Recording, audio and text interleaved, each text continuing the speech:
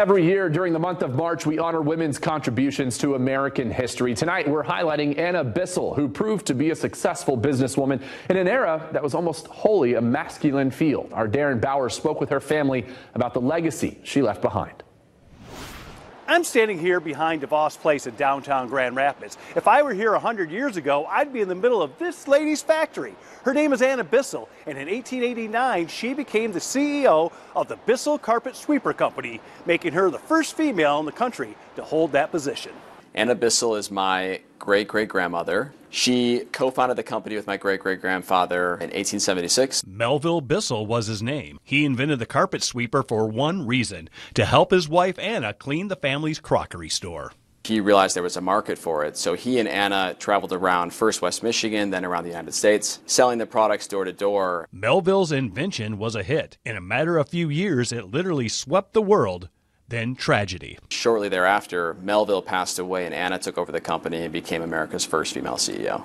The mother of five now had to balance taking care of her family while running and growing her company. Pretty daunting when you think about it, being anyone in any position but having that many kids and trying to have a full time job. I don't really know how she managed it, but in, on top of being very involved in the family and the business, she was also involved in the community. Anna enjoyed helping people improve their lives. She started the Bissell House, which was a recreation and training program for immigrant youth and women. She was very dedicated to helping women in the community as well, um, largely immigrant populations, making sure they got settled in, in West Michigan.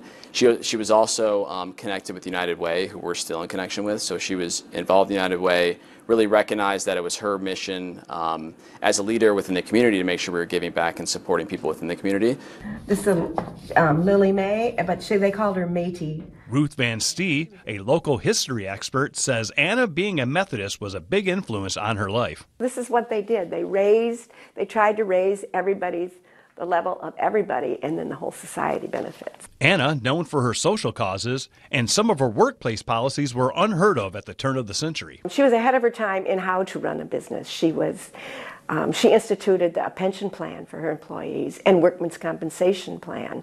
So they were very loyal to her. When Bissell built their first manufacturing site, which was down in the Grand River, they, the site actually burned down. So the employees were so invested in the company that they took the product home and started making other houses to keep the company afloat.